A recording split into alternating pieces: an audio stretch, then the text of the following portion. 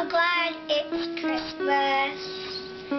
All the tinsels and lights make the holidays bright, but the real gift